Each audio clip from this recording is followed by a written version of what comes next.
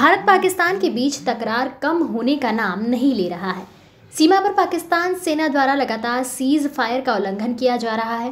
हालाँकि भारतीय सेना मुंहतोड़ जवाब दे रही है। इसी बीच पुंछ के कृष्णा घाटी और मनकोट में पाक गोलीबारी पर जवाबी कार्रवाई करते भारतीय सेना ने 10 पाकिस्तानी सैनिकों को ढेर कर दिया है, जबकि पीओके के बंटल में दो चौकियाँ तबाह कर दी गई है। इससे पहले सेना ने उड़ी सेक्टर में सीज फायर का मुंहतोड़ जवाब देते हुए दो सैनिकों को मार गिराया था। दो दिन में पाकिस्तान के बारह सैनिक मारे गए, जबकि पाँच चौकियाँ तबाह कर दी गई हैं। मीडिया रिपोर्ट्स के मुताबिक, पुंछ के कृष्णा उड़ी राजौरी और नौशेरा सेक्टर में पाकिस्तानी सेना द्वारा लगातार गोलीबारी की जा रही है ताकि आतंकियों को भारत में घुसपैठ करा सके।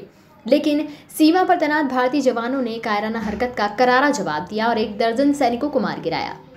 पाक सैनिकों ने गोलीबारी के दौरान सिलीकूट, हथलंगा, मोथल, सोवरा, बालकोट, चुरंडा और आसपास इलाकों को निशाना बनाने से ग्रामीणों में दहशत है। पिछले कुछ दिनों से पाकिस्तान की ओर से लगातार की जा रही गोलीबारी से एलओसी पर तनाव है।